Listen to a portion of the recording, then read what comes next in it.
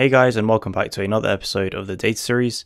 Today we're going to be building a logistic regression model that will predict if it will rain tomorrow in a given location in Australia.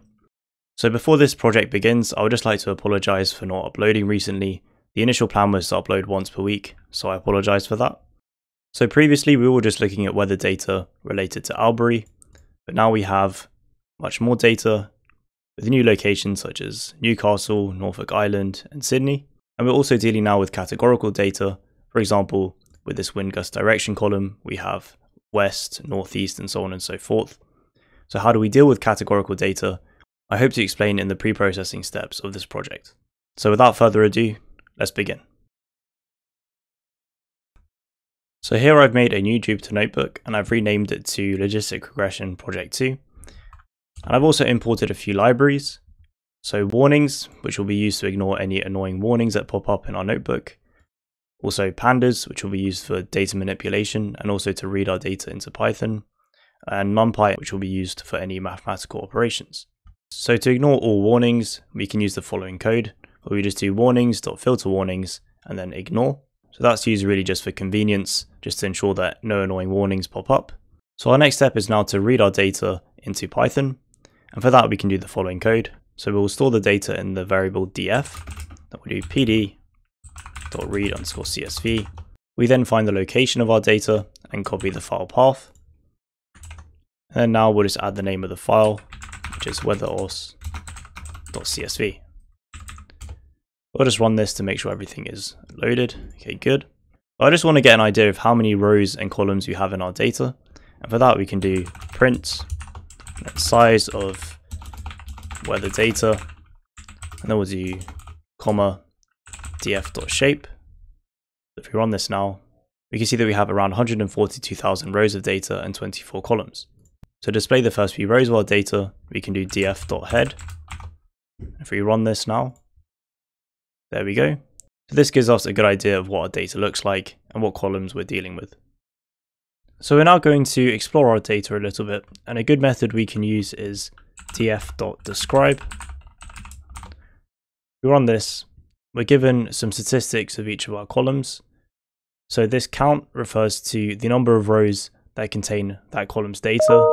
So we know here that we have 142,193 rows of data and 141,556 out of you know, that number of rows contain minimum temperature 141,871 contain maximum temperature, and so on and so forth. We're also given the mean of each column, the standard deviation, uh, the relevant quartiles, and the minimum and maximum. So in this episode, we're going to be removing all columns that contain a significant amount of missing data, as, they, as these columns may not be as useful for predicting if it will rain tomorrow. So to identify these columns, we can do df.count uh, which will give us all of our count statistics in one big column like this. And then we can do dot sort underscore values, which will put them all in ascending order. So we see here that sunshine contains the most amount of missing data, with only 74,377 rows containing sunshine, and then followed by evaporation, cloud 3 pm, and cloud 9 am, and so on. So to remove columns from our dataset, we can use the following code. So here I've done df equals df.drop, then we identify the columns we wish to drop. So here we're removing sunshine, evaporation, cloud 3 pm, and cloud 9 am, being the four columns that contain the most amount of missing data. And we're also removing risk mm, since risk mm gives the amount of next day rainfall in millimeters. So this is giving us information as to whether it will rain tomorrow, which we're not really supposed to know. And this is a concept called data leakage. And also we'll be removing dates. We do axis equals to 1 to identify that we are removing columns. We will do axis equal to 0 if it was for rows. And lastly, let's now do df.shape to display the new shape of our data frame. So if we run this here, we see here now that the number of rows still remain the same as before of 142,193 we have now removed a total of six columns, giving us now only 18. So for our next pre-processing step, we're going to be removing all rows of data that contain missing values or NA. And we can afford to do this because we already have quite a significant amount of data. To do so, we can do df equals df.drop na, and then we'll display the new shape of our data frame by doing df.shape. We run this, so we can see here now that our data frame has 112,925 rows, so we've dropped around 29,000 rows of data. So for our next step, we're going to scale all of our numerical data. So scaling our data essentially means that we put all of our data here, or all of our numerical data onto the same scale. So usually with a mean zero and a unit variance. And the reason why we do this is often algorithms perform slightly better when our data is all put on the same scale. So first we need to create a list of columns that only contain the columns which are numerical. So remember that we have a mixture of both categorical and numerical columns. So one way just to check the data types of each of our column is by doing df.dtypes. And if we run this, we can see here. So object refers to columns that are categorical and float64 for columns that are numerical. So we want to create a list that just picks out all of these numerical columns, and then we will apply our scaling to each of these numerical columns. So first, we import the pre-processing function from the sklearn library to scale our data. And next, we're going to create a list that just contain all of our numerical data. So we'll call this list numerical. So we're going to do var for var in df dot columns. And now we only want to add it to our list if the variable is numerical. So we do if df then var dot dtype equal to float 64. So now if we display this list, it should only give us the columns which are numerical. So there we go. So these are all of our numerical columns. So now we want to loop over all of our numerical columns and apply our scaling. So we'll do for col in numerical, then we do df col pre-processing dot scale and then df col again. Put these in two brackets. And then we'll just display the head to make sure that everything is scaled. So let's run this. So we can see here now that if we compare it to our original data, so we can see here minimum temperature is sort of 13.4, 7.4. So we can see here now that they're all on the same scale and it will take somewhat similar values. Next, we're going to remove any outliers within our data, since outliers can significantly damage the performance of our model. Because we've already scaled all of our data, it's much easier to identify and remove these outliers. So we've essentially put all of our data onto a normal distribution with mean 0 and standard deviation of 1. And one thing to note is 99.7% of data lies within three standard deviations of the column mean. So all of our column means are 0. This essentially means that 99.7% of the data within that column should be less than 3 or bigger than minus 3. So the way that we're going to identify any outlier is to find any value which is bigger than 3 or less than minus 3 and simply remove that entire row from our dataset. So first what we're going to do is to convert all of our standardized data into positive values and we can do that by doing z equals np dot absolute and then we'll do df dot underscore get underscore numeric underscore data and then we'll just print z Okay, so essentially what we've done here is we've converted all of our values into positive values. So for example, if you look at this second row here, this minus 0.841802 has become positive. And now we want to keep all of the values that are less than 3. We're going to do df equals df, and then z less than 3, dot all axes equals 1. So first remember that axes equals to 1 means that we're going across the columns. So we're going across like this, and then we go on to the second row, and then the third. And essentially what this code is doing is essentially checking that all of the values within the row is less than 3. And if it is, then we keep that, and if not, then we remove it. So this will only return true if all of the values within that row is less than 3, and false otherwise. So essentially we're just removing all of the rows which contain a value bigger than 3.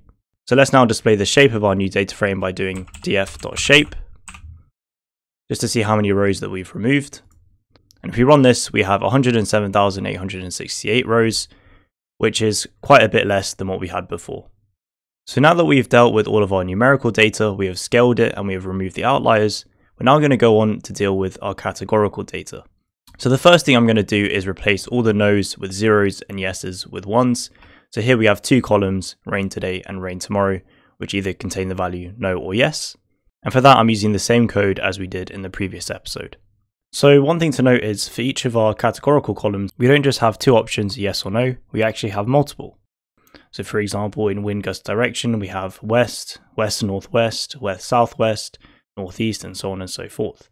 So one way in which we can deal with these sort of categorical columns is by something called one-hot encoding. So what one-hot encoding essentially does is it takes the categorical column and then finds all of the unique values and creates a separate column for them. So for example, we have red, blue, and green. So we create three columns, red, blue, and green. We then use ones and zeros to indicate where it is present in the color column. So for the red column, we have one and one for the first two rows. We also have one in the blue for the third row, and then two ones in the green for the fourth and fifth rows.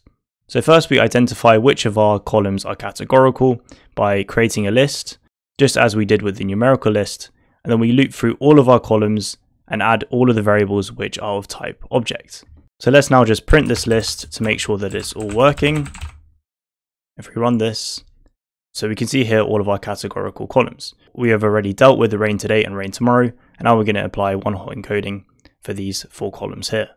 So here I've created a new list called categorical columns where we're just going to be selecting the four columns in which we're going to apply one hot encoding. So let's now see all of the unique values in each of our categorical columns. So for that, we're going to do for col in categorical columns.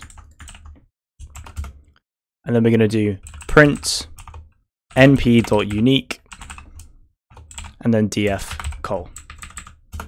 So if we run this, so we can see here that we have each of our locations and we also have all of our different wind directions. So we apply one hot encoding by using a function from the pandas library. So we do df equals pd.get underscore dummies and then we identify our data frame, which is df, and then we select the columns in which we want to apply one hot encoding. So we do columns equals, and in this case, it's all of our categorical columns. And then we'll do df.head just to get an idea if it's worked or not.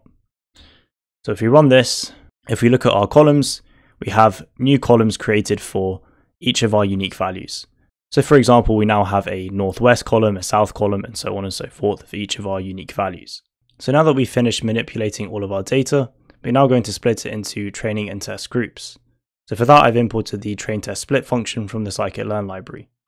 So for this model, we're going to be using all of our variables apart from rain tomorrow as our input and rain tomorrow as our output. So to define our model's inputs, we can do capital X equals df dot df.loc, which enables us to gain access to columns or labels by their name. We do colon comma df dot columns is not equal to rain tomorrow. We can then set our model's output by doing y equals df dot and then the name of our column, which is rain tomorrow. So you guys might be questioning how come we're including all of our variables apart from rain tomorrow as our input. Surely there might be some variables which don't have an effect of if it will rain tomorrow. And that's absolutely true. However, our model is able to actually figure out any variables which don't have an effect on our output and it will assign a very small parameter value to this variable so it won't have a significant impact on the output of our model. So now that we've identified our inputs and output, we can split our data using the following code as we've done in the previous episode. So here we're using 75% as training data and 25% for testing. So now that we've split all of our data, we're ready to implement our model. So for that, I've imported the logistic regression function, again from the scikit-learn library. So I'm just going to give this function a name, so we'll call it logreg. We'll set that equal to logistic regression. And then we fit our training data to our model. So we'll do logreg.fit, then X train, Y train. So now I'm just going to run this cell to make sure our model is working. And there we go. So we've successfully fitted our logistic regression model to our training data. And now it's time to evaluate our model. So in this episode, we're going to be using k-fold cross-validation to evaluate our model. If you guys aren't sure of what that is, I'd highly recommend checking out my previous video of cross-validation explained. So for k-fold cross-validation, I've imported a few functions, again from the scikit-learn library, so those being k-fold and cross-valscore. And also we've imported mean from NumPy. So with k-fold cross-validation, the first thing we need to do is to split our data into k-folds. So we can do that by defining a variable. So we'll call this CV for cross-validation. And we set that equal to k-fold. So we're calling the k-fold function. We then define a number of splits. So we do n underscore splits. And let's do 10 splits. And we'll also give our data a shuffle to prevent any bias problems. So we'll set random state equals to 1 to make sure that we're using the same shuffling algorithm every time. And then we set shuffle equals to true. We're now going to use our cross-val score to implement cross-validation. So for that, we're going to create a list. We'll call it scores, and we'll set it equal to cross-valscore. And this function takes a few arguments. So first, the model, which we define as log reg. Also our model's inputs, which we define as x, and our output y, and also what we're going to be scoring it based on. So we're going to be using the accuracy metric. So we'll do scoring equals accuracy and lastly, we set the cross-validation equal to our k-fold. So we do cv equals cv, which is the variable we've defined here. We're then going to average the scores for each of our folds. So we're going to do average underscore score equals, and then mean scores. And lastly, let's display this average score on our notebook. So we'll do print, then overall score, comma, average score. And now if you run this, may take some time considering k-fold cross-validation tends to be quite expensive, but usually yields more accurate results. And there we go, our overall accuracy is around 85.7%. So this is a reasonably good accuracy score, so we can now go on to use our model to make some predictions. So because we've done quite a bit of pre-processing in this episode, it will take quite some time to put any inputs into our model because we would have to scale the data and then apply one hot encoding. So I'm going to be a bit lazy here and I'm just going to use some of our test data for our model to make some predictions on. So our test data has already been all pre-processed because when we did all of these pre-processing steps, we did it on the whole data set. So to make some predictions, we're going to do log reg dot predict then we're going to do x underscore test. And let's make some predictions for the first 50 observations. So if we run this cell now, there we go. So here are all of our predicted values for 50 observations from our test data. I hope you guys enjoyed watching this episode and have learned something new. In the next episode, I hope to be going over a completely new classification algorithm, which I hope you guys will enjoy. Thanks again guys for watching, and if you have any questions, please leave them in the comments below.